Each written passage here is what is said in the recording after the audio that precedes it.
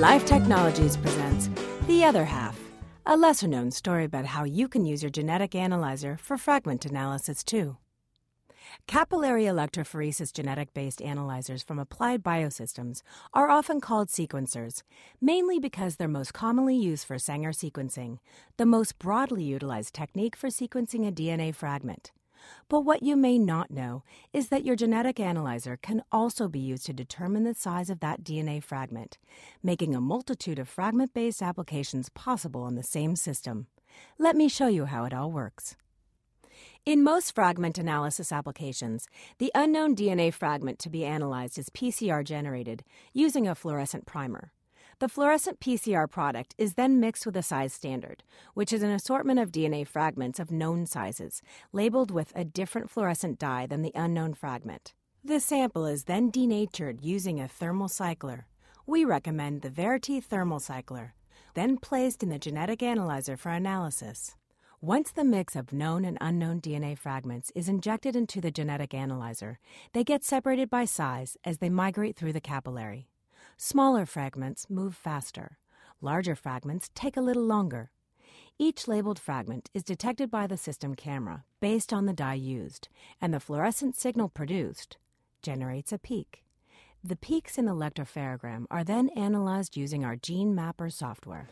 A sizing curve is then generated using the sizes of each known DNA fragment in the size standard and their respective migration times and this curve is used to precisely determine the size of the unknown fragment. One really big advantage in using your genetic analyzer for fragment analysis is the ability to multiplex. When you want to analyze DNA fragments in different size ranges, those fragments can be labeled with the same dye, separated in the capillary, and detected individually with no problem. However, when fragment size ranges overlap totally or even partially, you could not identify which peak corresponded to which fragment. This is where fluorescent multiplexing comes in. With a genetic analyzer, multiple dyes can be detected at the same time, so you can use different dyes to label DNA fragments in similar size ranges. Being able to select a mix of fragment sizes and fluorescent labels allows a high level of multiplexing, letting you analyze multiple fragments in a single migration. Another advantage of using a genetic analyzer for fragment analysis is the sensitivity it can achieve. Not to mention, you can work with any type of DNA template, even the difficult ones like blood spots or formalin fixed paraffin embedded samples. Unlike sequencing, most fragment analysis applications don't require complex sample preparation or cleanup before electrophoresis. And because the determination is size based, data interpretation is pretty straightforward. You can run a diverse range of fragment analysis applications on a genetic analyzer, and you don't need prior knowledge of the DNA sequence either. You can also use peak intensity measurements for relative quantification applications. So, all you need is to add a drop of your own creativity to develop a custom fragment analysis application in no time. But before you do that, let me show you a few you might want to consider. The most common fragment analysis application is for microsatellites, which are repeats of two, three, four, or more bases. These repeat units vary between individuals, which allow you to genotype samples.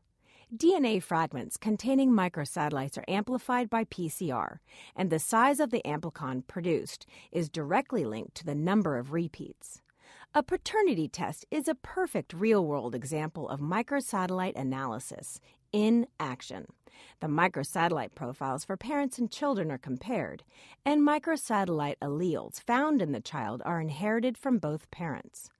Microsatellites are used for a multitude of other applications too like animal typing, forensics, disease linkage analysis, and microsatellite instability due to mutation in DNA mismatch repair enzyme. MLPA, a technology commercialized by MRC Holland, can be used to determine which part of a gene has a different number of copies in a cancer sample. Two probes are designed for each part of the gene to be analyzed. Hybridization and ligation of the two probes generates a fragment. The measured signal intensity of that fragment is proportional to the number of copies in that portion of the gene. For this fragment analysis application, multiplexing is achieved by increasing the size of the probes, allowing more than 40 fragments to be analyzed in just a single injection. MLPA can also be used to determine the methylation level of CPG. Fragment analysis can also be used to analyze single nucleotide polymorphisms, or SNPs. Using our SNaPshot kit, a primer hybridizes the base just before the SNP. Then, a primer extension reaction is performed using four DDNTPs with different labels. The color of the fluorescent label detected on the fragment produced identifies which base was incorporated. Like MLPA, multiplexing is achieved by increasing the size of the probe. So, in a single injection, up to 10 different SNPs can be analyzed. Fragment analysis also allows you to compare the complete genome of two different samples without needing to know the sequence for either. One example of how to do this would be the AFLP method. In this technique, a genome is cut with two different restriction enzymes, and adapters are added at either extremity of the DNA fragments generated.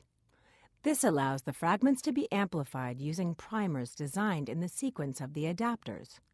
Fragments are then analyzed on the genetic analyzer and peak profiles are compared. A difference in the DNA sequence can eliminate or create a restriction site, which impacts the peak profile. So you can determine the level of variation between samples without having to identify the mutations. AFLP is typically used for plant and bacterial DNA, but can be used potentially for any genome.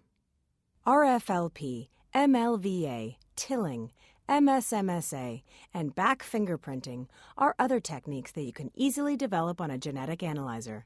You can even create custom techniques to fit your specific laboratory needs. To learn more about all of the fragment analysis application possibilities that your genetic analyzer is capable of, visit www.lifetechnologies.com forward slash fragment analysis.